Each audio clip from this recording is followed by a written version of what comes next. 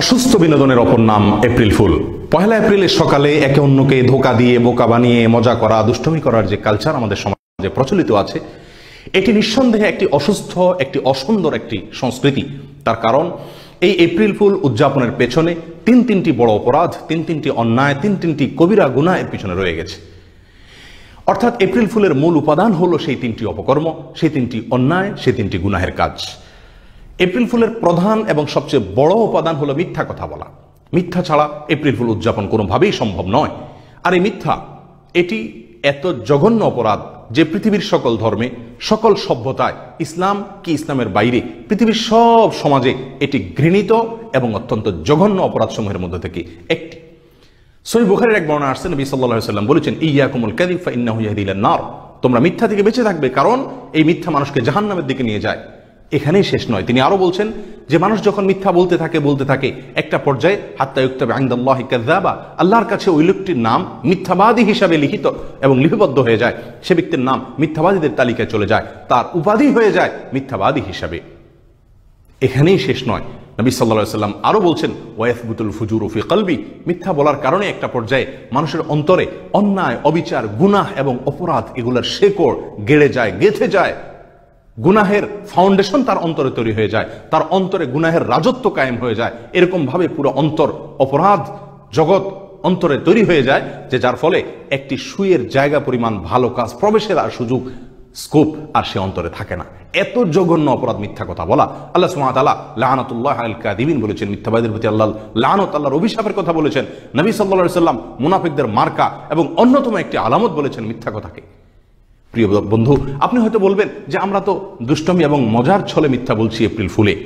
জি, আপনার জন্য নবী সাল্লা সাল্লামের দুটি হাদিস আমি উল্লেখ করতে চাই। তার উভয়টি বর্ণিত হয়েছে সোনা আবুদাউদের ভিতরে। তার একটিতে নবী সাল্লাহ সাল্লাম বলেছেন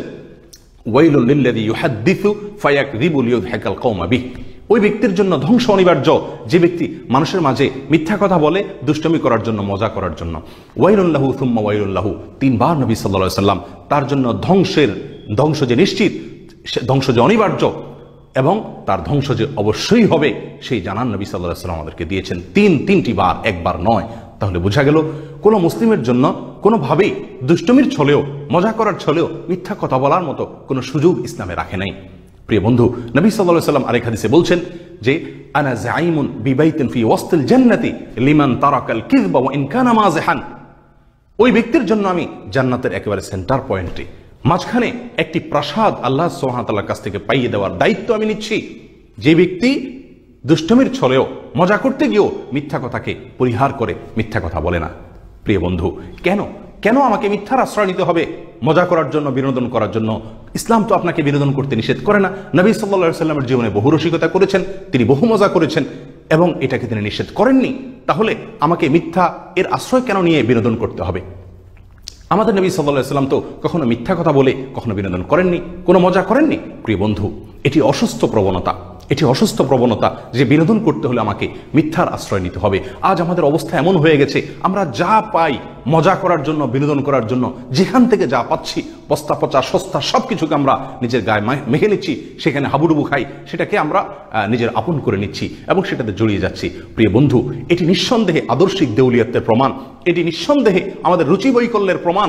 একটি পথ শিশু যার বাবা নাই, যার অভিভাবক নাই, সে বেচারা যেদিক সেদিক যায়, যে কোনো কাজ ইত্যাদি করতে পারে, কিন্তু একটি শিশু যার একজন দায়িত্বশীল বাবা আছেন, দায়িত্বশীল মা আছেন, এরকম অভিভাবক থাকার পর সেই শিশু সাধারণত যা তা করে না। সে ভালোটা গ্রহণ করে, মন্দটা বর্জন করে, ছেড়ে দেয়, কারণ তার একজন গাইড এবং তার অভিভাবক রয়েছে। প্রিয় বন্ধু, আপনি তো মুসলিম। আপনার জন্য তো আল্লাহ সুহাতালা নবী সাল্লাহ সাল্লামকে সর্বোত্তম আদর্শ হিসাবে পাঠিয়েছেন। তার আদর্শ তো আপনার সামনে রয়েছে, তিনি তো আপনাকে বিনোদন কেন সমস্ত কাজের জন্য সুমহান, সুন্দর, যৌক্তিক আদর্শ আপনার জন্য তিনি রেখে গেছেন। কোরআন এবং সুন্না সমস্ত কাজের বিস্তারিত বিবরণ আপনাকে দিয়ে গেছে। আপনার এত সুন্দর, সুস্পষ্ট আদর্শ, সুমহান আদর্শ থাকার পরও আপনি কেন পশ্চিমাদের যেই কোনো যেই কোনো কালচারকে যে কোনো সংস্কৃতিকে আপনি আপনার গায়ে মাখাচ্ছেন, সেটাকে আপনি গ্রহণ করছেন, বরণ করছেন। প্রিয় বন্ধু, নিঃসন্দেহে এটি আপনার রুচি বৈকল্যের বিশাল বড় একটি প্রমাণ। একটি পাগল, একটি বিকৃত মস্তিষ্ক মানুষ, তার হাসির জন্য যৌক্তিক কোনো কারণে প্রয়োজন হয় না। সে তার হাসির পিছনে কোনো সৌন্দর্য সুন্দরের পিছনে সুন্দর বা কোনো ভালো যুক্তি থাকার প্রয়োজন হয় না। সে যে কোনো কিছুতে হাসতে পারে। কিন্তু একজন সুস্থ মস্তিষ্কের মানুষ, একজন সাধারণ মানুষ, একজন স্বাভাবিক এবং ভালো মানুষ, তার হাসির পিছনে কোনো যৌক্তিক কারণ থাকে, কোনো সুন্দরের কারণে সে হাসে। একটি মিথ্যা, একটি প্রতারণা, একটি মানুষকে কষ্ট দেওয়া, এগুলোর পরে একজন মানুষ হাসি পাওয়া, একজন মানুষ হাসা, বিনোদন করা, মজা পাওয়া, এটি নিঃসন্দেহে আমাদের অসুস্থ প্রবণতার একটি বিশাল বড় প্রমাণ। প্রিয় বন্ধু, এটি থেকে আমাদেরকে বেরিয়ে আসতে হবে সন্দেহাতীতভাবে। মিথ্যা দুষ্টমির ছলে বলতে বলা যাবে না। এমনিতেই আমাদের সমাজ প্রত্যেকটা রন্ধ্রে রন্ধ্রে সমাজের সব জায়গায় মিথ্যা আজ প্রবেশ করেছে। প্রিয় বন্ধু, মিথ্যার ভেতরে আমাদের সকলের বাস চলছে। আমরা একে অন্যের সঙ্গে মিথ্যা কথা বলছি, সবাই সবার সঙ্গে মিথ্যা কথা বলছি। মিথ্যার এক জোয়ার চলছে।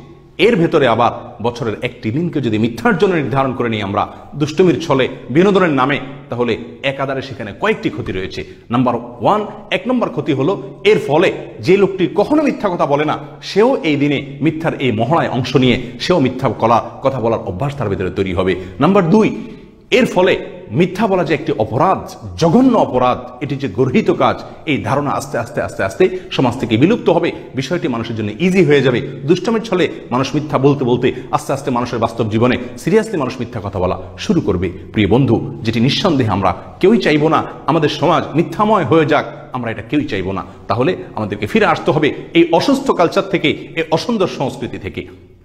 এপ্রিল ফুল উদযাপন করতে গিয়ে আপনি যেমন মিথ্যা কথা বলতে হচ্ছে, সেই সাথে একটি মানুষকে ধোকা বা প্রতারণা তার সঙ্গে করতে হচ্ছে। আর নবী সাল্লাহ সাল্লাম সহি মুসলিমের খাদিসে এসছে, তিনি বলেছেন, মান গাসা ফালাইসে মিন্না যে ব্যক্তি কাউকে প্রতারিত করল, সে আমাদের উন্মত হতে পারে না। এবং সেই সাথে আপনি যার সঙ্গে এই মজা করে, মিথ্যা কথা বলে, প্রতারিত করে বা ধোকা দিয়ে তাকে তার সঙ্গে দুষ্টামি করছেন সে লোকটি আপনার দুষ্টামিতে মজা পাবে, এটা জরুরি নয়। হতে পারে সে কষ্টও পেতে পারে। যদি তার কষ্টের কারণ হয়, তাহলে সেটা আরেকটি অপরাধ হয়ে গেল। তাহলে তিন তিনটি অপরাধ হয়ে গেল, যেগুলোর ফলে আপনার এই এপ্রিল ফুলের এই অনুষ্ঠান, এই সংস্কৃতি, এই বিনোদন কোনোভাবেই গ্রহণযোগ্য হতে পারে না। শরীরের দৃষ্টিতে এটি অত্যন্ত জঘন্য।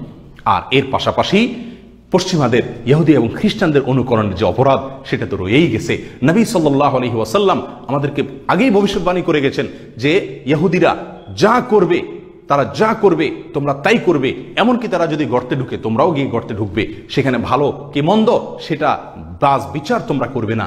আজ যেন সে অবস্থা আমাদের মাঝে চলে আসছে। প্রিয় ভাই বন্ধুগণ, তারা যে কোনো কালচার আমাদের সামনে পেশ করে, সেটাকে আমরা গায়ে মাখিয়ে নিই, সেটাকে আমাদের সমাজের অংশ করে নিই এবং সেটাতে আমরা হাবুডুবু খাই। সেটা ভালো কি মন্দ, যৌক্তিক কি অযৌক্তিক, সুন্দর কি অসুন্দর, সেটা বাস বিচার করার মতো বুঝ বুদ্ধিটুকু পর্যন্ত আমাদের আজ লোপ পেয়ে গেছে। যেটা নিঃসন্দেহে আমাদের রুচি বিকৃতির একটা বিরাট বড় প্রমাণ, আমাদের উদ্ভট্টের একটা বিরাট প্রমাণ হয়ে দাঁড়ায়। প্রিয় বন্ধু, আসুন এই কালচারকে আমরা না বলি এপ্রিল ফুলকে না বলি, সুস্থ বিনোদনের পৃথে ফিরে আসি। আল্লাহ তালা আমাদের সকলকে সে তৌফিক দান করুক। আসসালামু আলাইকুম রহমতুল্লাহি ওবরাকাত